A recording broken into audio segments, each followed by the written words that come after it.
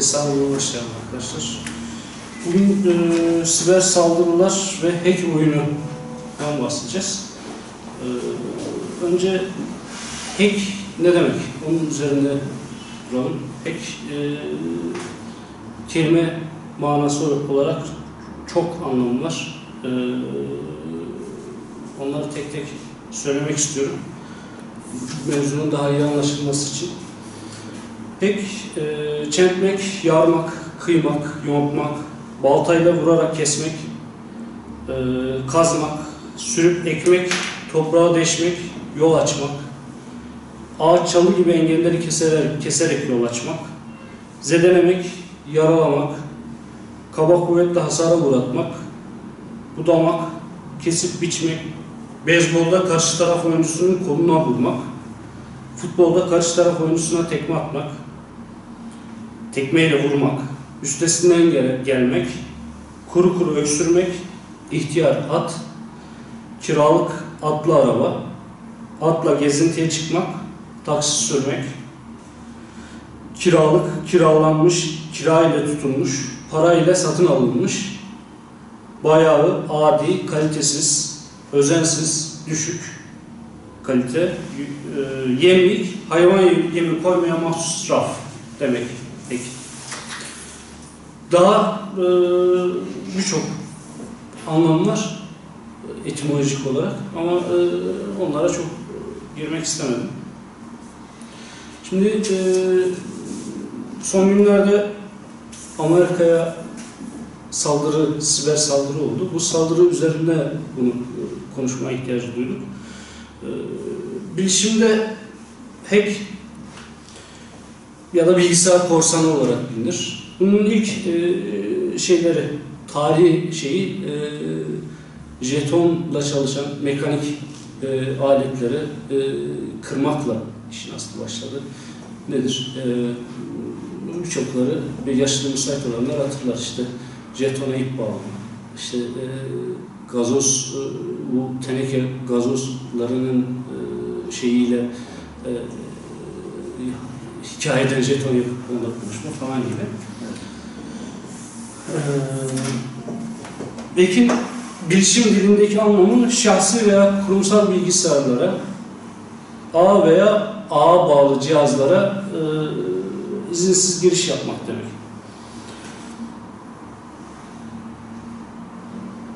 Bu izinsiz girişler e, kötü amaçlı da olabiliyor, iyi amaçlı da olabiliyor. İyi amaçlı da kötü amaçlı da iyi ve kötü e, zatıyla iyi veya kötü değil. E, niyete bağlı. Yani e, bir de şey, e, iyi ve kötü e, toplumdan topluma değişebiliyor. Bizim toplumumuzda iyi olarak bilinen, atıyorum Amerikan toplumunda kötü olarak e, algılanıyor. Bu kötü iyi de işte siyasi, dini, e, felsefi anlayışlarla yön değiştiriyor. E, bize göre iyi, kötü, doğru, e, iyi, doğru, güzel, kötü, çirkin, e, yanlış da e, temel e, inançlarımıza oranla ona e, onu mihenk ederek e, çıkarttığımız şeyler.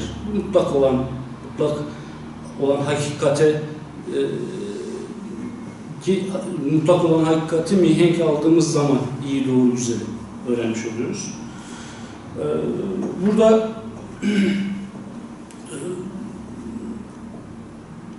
sadece hackerlar çok kullanılıyor ama işte crackerlar var, kırıcılar, şifre kırı, kırıcıları, e, var, hackerların e, çok beğenmediği ama işte sadece programları kullanarak çocukça işler yapıp işte onun bunun bilgisayarına giren tipler var.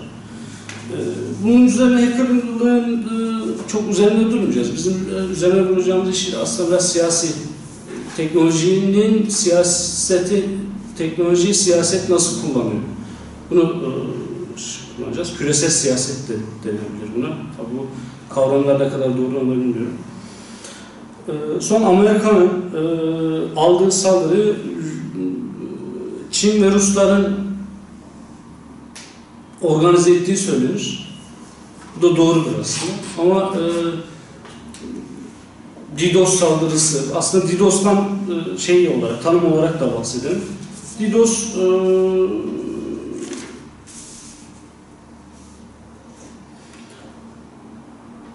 bunu ben bir şemayla çizmek istiyorum aslında. Çizdiğim zaman daha iyi anlayacağız.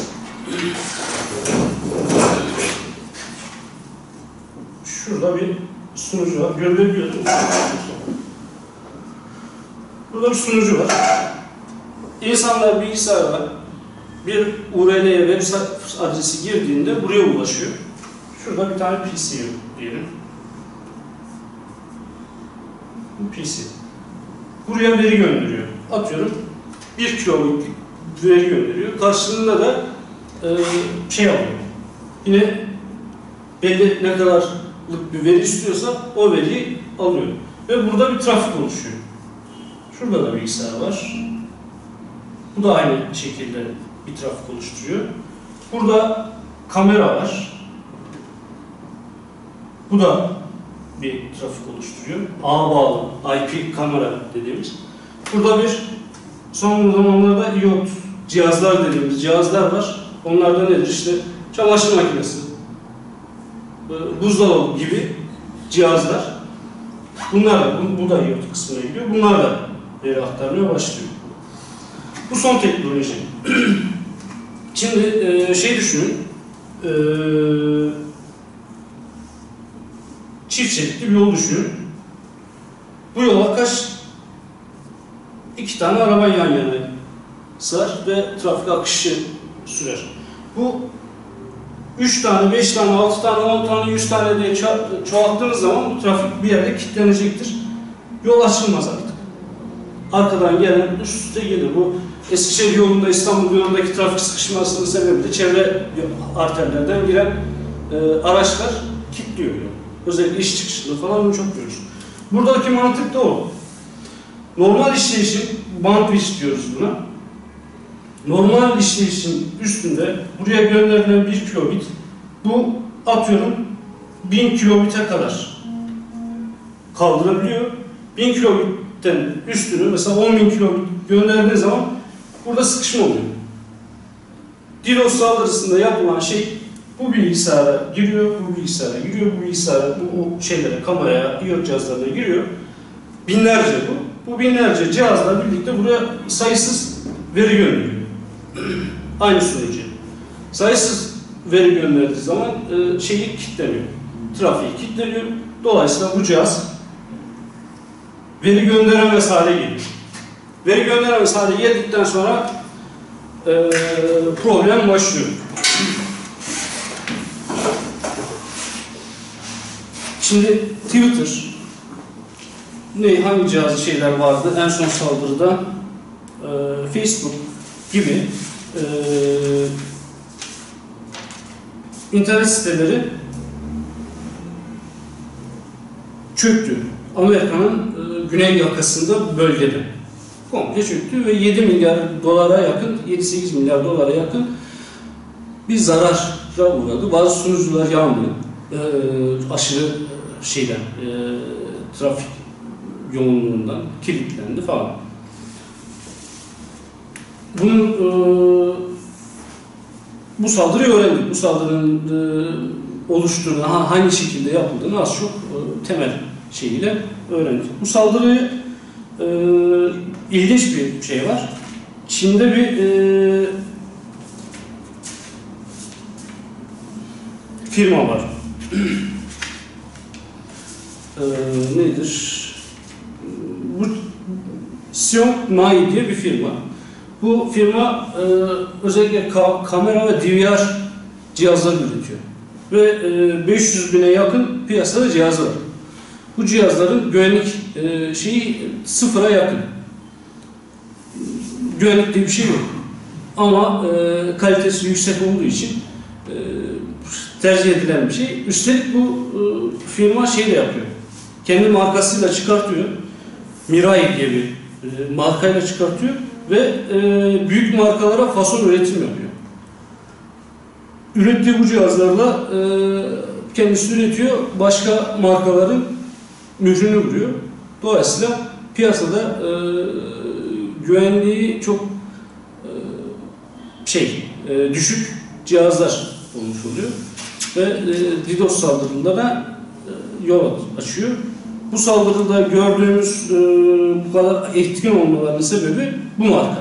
Ama e, gelişen teknolojiyle birlikte 2020'de 21 ile 28 milyar arasında IoT cihazları. Ağa bağlanabilen, internete bağlanabilen cihazlar, teknolojik aletler. Bunun içerisinde bulaşık makinesi, çamaşır makinesi, televizyon yani aklınıza gelebilecek bir sürü kameralar, bir sürü cihazlar var. İnternete bağ, bağlanarak veri alışveriş, alışveriş yapıyorlar. 2020'den sonra e, 500 bin Mirai 500 bin cihazı var. Bu cihazlarla yapıldı ki bu cihazların çok küçük bir kısmı kullanıldı. 21 ile 28 milyar cihazla birlikte DDoS saldırısı yapıldığını düşündüğün zaman e, dünyadaki e, siber kıyametin de e, oluşması muhtemel bu şeye hesaba göre. Çünkü bunu kaldırabilecek altyapı yani e, her şeyin belli, belli bir sınırı var. O altyapıyı kaldırabilmesi çok zor bu kadar cihazın ki bahsettiğim 21-28 milyar cihaz sadece IoT cihazlar. Bunların PC'leri var, telefonları var. Ya bir- birçok e, bu işlerde etken olacak cihazlar var. Ee, en son saldırıda Twitter, Netflix, Spotify gibi web siteleri çöktü. Bu web sitelerinin e, çöküşüyle birlikte diğer sitelerde etki yaptı. Özellikle maliye alanında falan e, ciddi sıkıntı çekti Amerika. Burada şöyle de bir e, şey var, sıkıntı var. Sıkıntı şimdi Çin Rusya saldırıyı yapıyor ama diğer taraftan Julian Assange Amerikan muhalifi olarak bilinen e, yazılımcı aynı zamanda hacker, dünyaca ünlü hacker e, artık e, şeyimiz yok, problemimiz yok, saldırıyı durdurabilirsiniz. E, Wikileaks aktif diye bir mesaj attı. Bu e, zannımca yanıltıcı bir mesaj. Yani sanki e, Amerika'nın içerisine yapılmış gibi. Amerika'nın her zaman uyguladığı stratejidir. Başına bir şey geldiği zaman sanki kendi yapmış gibi dünya halklarına gösterir. E, işte Çin Rusya değil de e, biz kendi kendimize yaptık ne yaptıysak hesabı. E, yenilmeyi hiç e, yeniden pehlivan güreşe doymaz hesabı yenilmeyi bir türlü e, hazmedemeyen bir anlayışı var. Böyle bir saldırı olursa bunun tatbikatını yaptık. Ha böyle böyle genelde öyle şey yapıyorlar. Ee,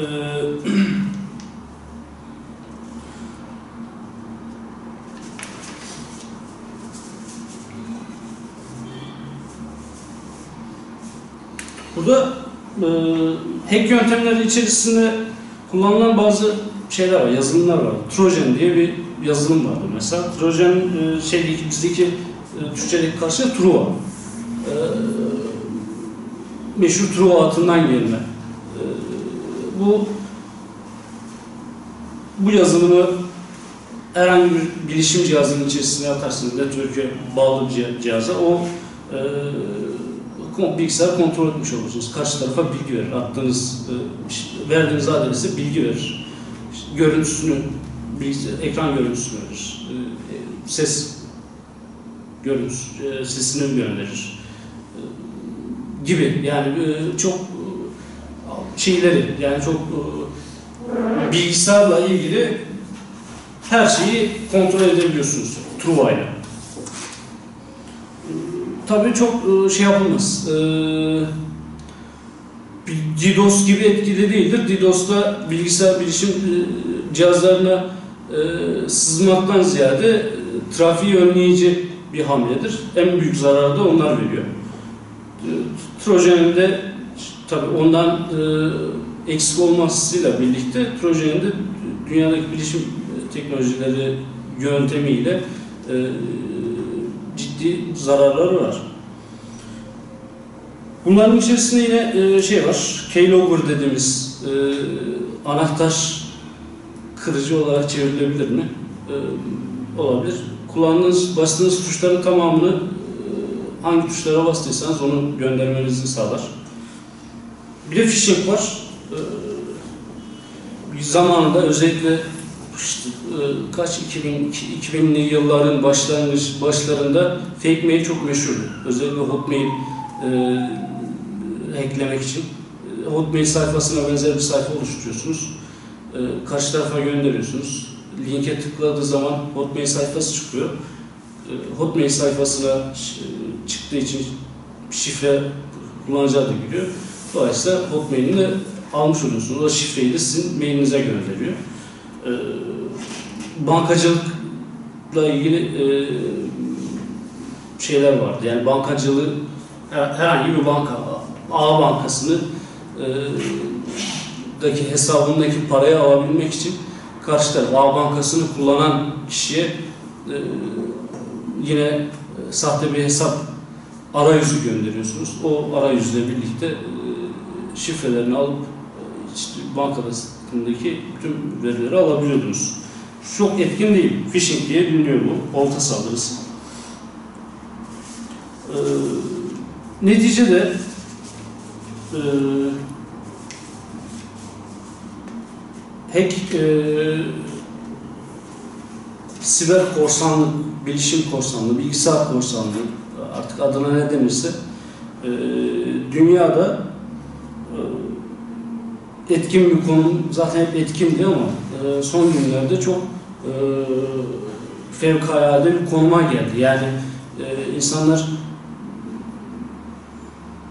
birebir somut olarak bir şey yapamadığı zaman soyut olarak e, Amerika gibi işte uluslararası küresel e, diye bilinen büyük devletlere bu şekilde saldırılar yapıyor. Saldırılar da bitmeyecek. Yapılmaya devam edecek. Çünkü e, dünyada adaletle ilgili ciddi bir sıkıntı var. Bu sıkıntının da e, şeyi e, bu sıkıntıyı e, bir şekilde insanlar e, gidermekten ziyade karşı tarafa bu sıkıntıyı oluşturanlara zarar vermek istiyor. Bu zararı da e, sanal ortamda 14-15 yaşından itibaren başlayan gençler organize ediyor. E, burada yine e, şöyle bir şey var. Her ülkenin Amerika Birleşik Devletleri'nden tutun e, İngiltere, İsrail, Rusya, özellikle Çin e, devletlerin kendi siber ordusu var. Türkiye'de son zamanlarda kurulma şeyi vardı. Ne, ne durumda bilmiyorum ama e, her devlet kendi siber ordusunu kurmak durumunda. Hackerlardan oluşan. E, gereken e, saldırı ve savunmayı da bu şekilde yapmak durumunda. E, çağımızda çünkü e, artık insanlar para bile kullanmıyor. Sanal para kullanıyorlar. Kredi kartı kullanıyorlar. Dolayısıyla bunun da güvenliğini e, polis teşkilatı nasıl oluşturuluyorsa, jandarma teşkilatı nasıl oluşturuluyorsa, güvenlik teşkilatı e, sosyal hayatta nasıl oluşturuyorsa bu şekilde üzerine gidip bu e,